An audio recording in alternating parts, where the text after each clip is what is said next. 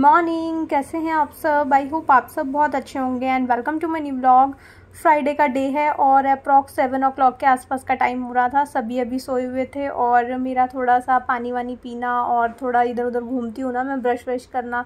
ये सब निपट चुका था तो आ गई थी अब मैं झाड़ू लगाने के लिए। मॉर्निंग में एक बार नहाने से पहले ना आजकल मैं झाड़ू लगा देती हूँ, क्योंकि डस्ट वगैरह का जो काम होता है ना, मैं सोचती हूँ कि पहले मतलब नहाने से हो जाए तो ज़्यादा अच्छा है। वैसे जब दोपहर की सारी क्लीनिंग हो जाती है, तब जा के मैं एक बार फिर से नहाती हूँ। आजकल गर्मी बहुत ज़्यादा है ना तो इसलिए उठते से ना नहाने का मन करता है, फिर थोड़ी फ्रेश वाइब्स आने लगते हैं तो इसलिए आजकल मैं मॉर्निंग में नहा लेती हूँ। और यहाँ पे बस मैं झाड़ू लगा रही थी मॉर्निंग की, अभी सब सोए हुए थे। धीरे धीरे सबका उठना स्टार्ट होगा और फिर चीज़ें और फैलनी स्टार्ट होंगी तो उससे अच्छा है कि मैं थोड़ी सी झाड़ू पहले एटलीस्ट निकाल लूँ क्योंकि फिर रात को थोड़ा सा ऐसे ही मैसी हो जाता है ना, जिधर की चीज़ जहाँ थी वहीं छूटी रह जाती है। अभी देखो एलेक्सा भी बेटू ने यूज़ करके नीचे फ्लोर पर ही छोड़ी हुई थी। तो उसको भी फिर मैंने सारी चीज़ों को मतलब रख दिया था अभी। अभी जब तक मनीष रहते हैं, तब तक थोड़ा और फैलेगा घर बट ठीक है, जितना हो सकता है ना मैं इस टाइम पे मतलब सेट कर देती हूँ। जो नीडेड नहीं होता कि हाँ अब रख दिया तो अब दोबारा ये यूज़ नहीं होगा तो वो फिर मैं सेट करके रख देती हूँ। और उसके बाद बाहर बालकनी को भी मैंने अच्छे से झाड़ दिया था, क्योंकि डस्ट बहुत आती है, ओपन एरिया होता है। और मॉर्निंग देख के कितनी फ्रेश वाइब्स आती हैं ना, मन करता है ऊपर कभी कभार चली जाती हूँ मैं। तो अभी नेक्स्ट टाइम जाऊँगी ना अर्ली मॉर्निंग जब भी जाऊँगी तो मैं आप सबको भी साथ में दिखाऊँगी। और बस फिर यहाँ पर झाड़ू वगैरह मेरी लग चुकी थी।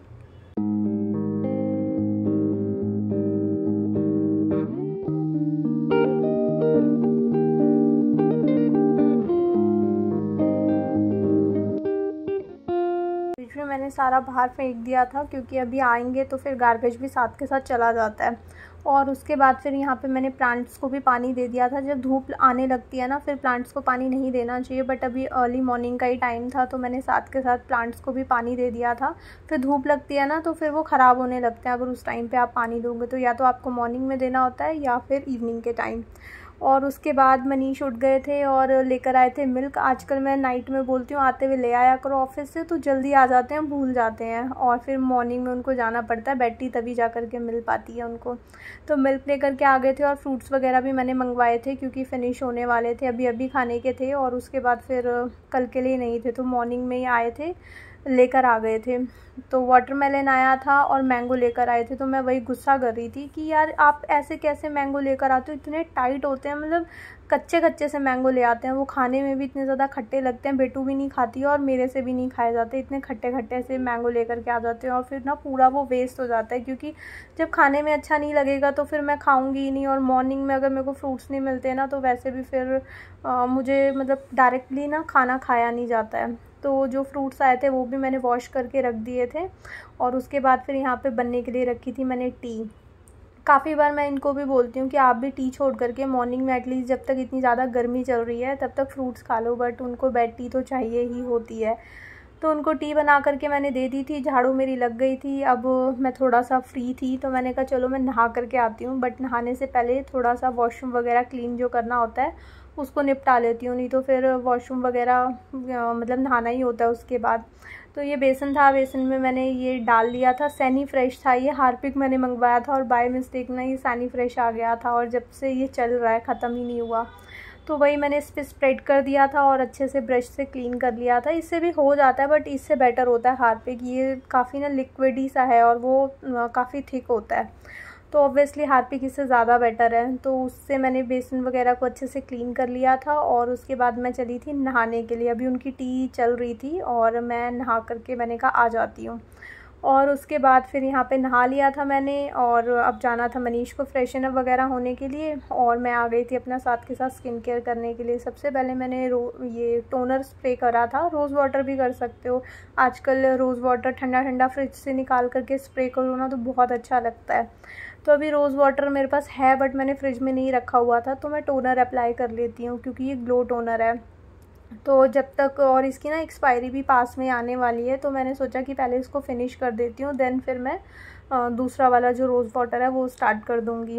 नहीं तो फिर वेस्ट हो जाएगा ना, अगर एक्सपायरी डेट आने वाली है, बिल्कुल लास्ट ही मंथ है आई थिंक और उसके बाद फिर स्किन केयर वगैरह मैंने अपनी कंप्लीट कर ली थी, जो लिप्स पे टिंट यूज़ करती हूँ वही करा था, और उसके बाद जो लास्ट होता है, ये हल्का सा डीओ नहाने के बाद मेरे को बहुत अच्छा लगता है, ताकि अच्छी प्यारी प्यारी सी खुशबू आती रहे।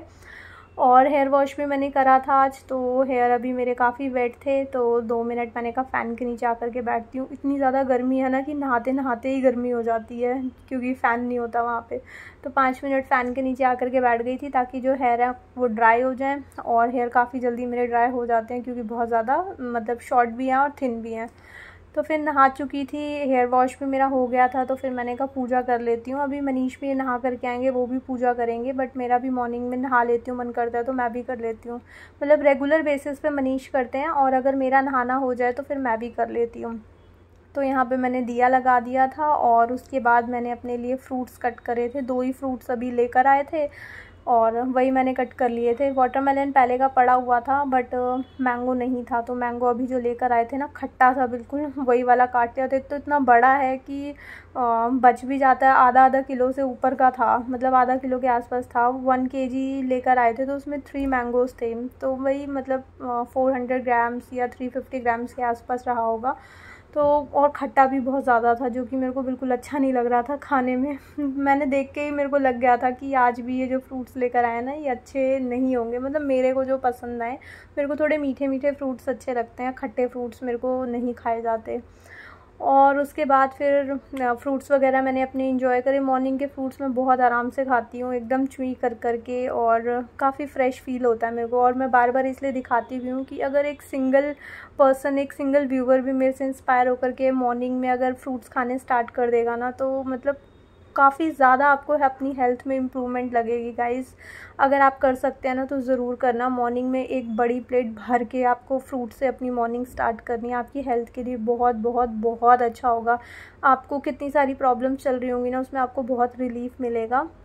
जो भी फ्रूट आपको अच्छा लगता है, आप उससे स्टार्ट कर सकते हो बट एटलीस्ट स्टार्ट करो। मेरी कज़न आई थी ना, उसको भी टी पीने की हैबिट थी, उसकी मैंने छुड़वा दी थी बट अपने हस्बैंड की मैं नहीं छुड़वा पा रही हूँ। मेरे पूरे मायके में अभी तो सब लोग फ्रूट से ही स्टार्ट करते हैं। मम्मी आई थी, वो भी फ्रूट से। अभी सेकेंड टाइम जब दोबारा कज़न आई थी ना तो उसने भी मतलब वो भी रेगुलर फ्रूट्स पे आ चुकी थी। मतलब थोड़ा सा ही खाती है वो, लेकिन उसने भी स्टार्ट कर दिया था। टी उसने मॉर्निंग की छोड़ दी थी और उसको काफ़ी अच्छा फ़ील होता है उसने मुझे बताया अभी तभी मैं आप सबको भी बोल रही हूँ, अगर आप स्टार्ट कर सकते हो ना मॉर्निंग में फ्रूट्स खाना तो ज़रूर से स्टार्ट करना, अगर आपको सूटेबल है तो।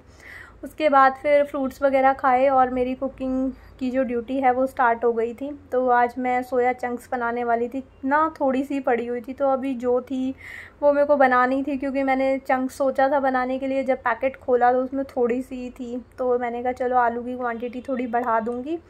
तो उससे सब्ज़ी जो है वो बन जाएगी। और उसके बाद फिर मनीष अपना, मैं अपनी कुकिंग कर रही थी। मनीष भी अपना नहा धो करके आ गए थे और अपनी शर्ट को प्रेस कर रहे थे।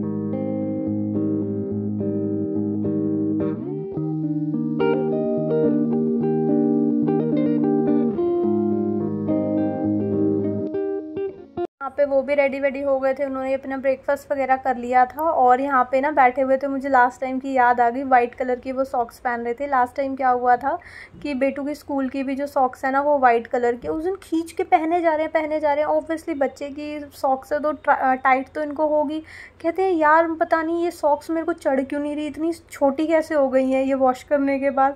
मैंने पास जाकर, मैं भी अपने उस टाइम ना फ्रूट्स खा रही थी, मैंने भी ध्यान नहीं दिया। मैंने पास जा कर के देखा, मैंने कहा, कैसे आएँगे आपको आप बेटू के सॉक्स पहन रहे हो? तो वही फिर आज वाइट कलर के सॉक्स थे ना तो मुझे हँसी आ गई थी। तो कुछ मतलब होती है ना, ऐसे मेमोरीज़ हम याद करके थोड़ा हंस लेते हैं, मुझे अच्छा लगता है। तो वही हम उसी से रिलेटेड बातें कर रहे थे और उसके बाद चले गए थे मनीष ऑफ़िस के लिए और मॉर्निंग में मैंने अभी कुकिंग करी थी ना मतलब अभी थोड़ी देर पहले कुकिंग जब करी थी तो मैंने जब प्यूरी वगैरह बनाई थी तो हल्के फुल्के ना छींटे इसमें टमाटो के आए हुए थे, जब क्योंकि की ना लिड नहीं है, इसके ऊपर मैं प्लेट रख के पीस लेती हूँ तो हल्के फुल्के जब टमाटो ज़्यादा होते हैं ना तो छींटे बाहर आ जाते हैं तो फिर गंदी सी हो रही थी तो मैंने कहा साथ के साथ इसको भी मैं क्लीन करके रख देती हूँ और बस वो भी क्लीन करके रख दिया था। ना मैंने काउंटर भी क्लीन कर दिया था और वॉइस ओवर मेरा इतना पीछे रह गया कि मैं बताना ही भूल गई। कल मैंने बोला था ना कि मैं, मेरी एक टी शर्ट जो छींटे से ख़राब हो गई है तो मैं अपनी एप्टन ढूंढ लूँगी। तो आज मैंने ना कुकिंग करते हुए मुझे एप्रिन जो थी वो मिल गई थी तो मैंने आज एप्रिन पहन करके कुकिंग करी थी। सब्ज़ी तो बन चुकी थी, आटा लगाते हुए मिली थी तो याद आई थी मतलब तो मैंने आटा लगाते हुए एप्रिन पहन ली थी। और उसके बाद फिर बेटू उठी थी, उसको नहलाया, धुलाया, खिलाया, पिलाया और यहाँ पे दोपहर का टाइम हो गया था। तो मैं थोड़ी देर बैठी हुई थी और मतलब जैसे थोड़ा सा टाइम मिलता है तो मैं आ गई थी अपने इयर वगैरह देखने के लिए। संडे को मैं लेकर के आई थी, फिर मेरा देखना ही नहीं हुआ। तो वैसे तो मैं इयर वगैरह नहीं पहनती हूँ बट ले आई थी उस दिन ऐसे मेरा मन करा था तो ये इस टाइप का था मतलब डिओल स्टोन टाइप में थे तो मैंने सिंगल करके भी इसको पहने थे और डबल करके भी पहने थे बट मुझे लग रहा है कि सिंगल करके अच्छा लग रहा था या नहीं, मेरे फेस पे मुझे लगता है कि ना इयर ज़्यादा सूट नहीं करते तो इसलिए ना मैं पहनती भी नहीं हूँ, और बस फिर आज मैंने ऐसे पहन लिए थे सिंगल करके, और उसके बाद यहाँ पे इवनिंग का टाइम हो गया था और अप्रॉक्स पौने सात बजे का टाइम हो गया था बट स्टिल सन जो था, वो दिख रहा था ऊपर, अभी हम गए थे तो और इतनी ठंडी ठंडी हवा चल रही थी, बहुत मज़ा आ गया था ऊपर, आज हम गए थे। क्योंकि बाहर बालकनी में ना कपड़े वगैरह उड़ रहे थे तो हमें था कि आज हवा चल रही है, चलो ऊपर थोड़ी देर होकर के आते हैं और आप सबको भी काफ़ी अच्छा लगेगा, मैं आज ऊपर लेकर के आई हूँ। क्योंकि लास्ट टाइम जब मैं छत में लेकर के आई थी ना मतलब छत में मैं आई थी, आती रहती हूँ, मैं, हमारा डिनर वगैरह हो जाता है तो हम वॉक करने के लिए आते हैं ऊपर। बट मैंने ऊपर आकर के थोड़ा सा रिकॉर्ड करा था तो तब से सबका कमेंट मुझे आ रहा था कि आप बाहर भी निकलते हो तो थोड़ा सा रिकॉर्ड किया करो। तो फिर अभी मैं छत पे जा रही थी तो मैंने कहा, चलो, थोड़ा सा मैं रिकॉर्ड कर लेती हूँ। और बेटू ने यहाँ पे ईयरपॉड्स लगाए हुए थे क्योंकि फ़ोन आया हुआ था ना मम्मी का तो वो बात कर रही थी। और उसके बाद देखो वेदर कैसा और अब बहुत ही अच्छी अच्छी हवा चल रही थी। साथ में ना डस्ट भी उड़ रही थी क्योंकि अभी बारिश वगैरह हुई नहीं है। तो हवा के साथ डस्ट भी काफ़ी चल रही थी, थोड़ी आंधी सी ही चल रही थी बोल सकते हो। तो यहाँ पे मैं बैठ गई थी, बेटू के साथ थोड़ी सी मस्ती भी कर रही थी और हमने काफ़ी इन्जॉय करा और देखो बेटू मेरे को यहाँ पे घुमा रही थी।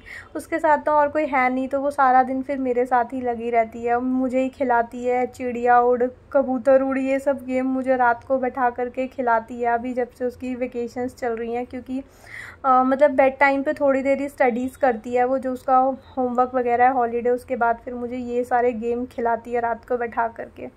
और बस इसी के साथ आज का ब्लॉग मैं यहीं पे एंड करती हूँ। आई होप आपको ये ब्लॉग अच्छा लगा होगा।